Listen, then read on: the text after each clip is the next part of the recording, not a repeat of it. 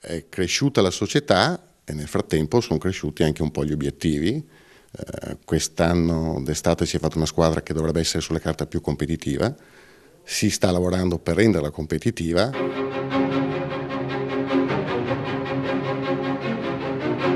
Si riparte e il direttore generale della DeLonghi Treviso Basket Giovanni Favaro non nasconde che le ambizioni sono alte.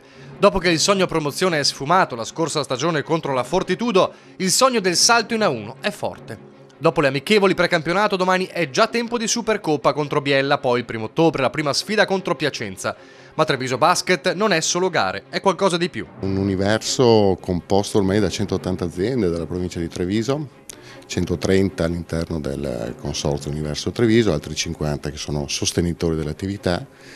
È un mondo che vive assieme, che fa attività assieme, che sostiene la realtà sportiva che nel frattempo è cresciuta tantissimo. E poi il grande bacino del settore giovanile, elemento chiave per rafforzare il movimento a Treviso. L'estate scorsa si è raggiunto anche questo accordo con sì, la buongiorno dalla Treviso, redazione di Vicenza. in cui si continua a fare attività di un certo livello si era con presentata lo sportello donna del comune di Tiene questo in per questo momento ci porta denunciare un un 24enne e il suo compagno, un connazionale colombiano per presunti maltrattamenti. Intanto la palla 2 è vicina, da Negri a Fantinelli, da De Zardo a Imbro.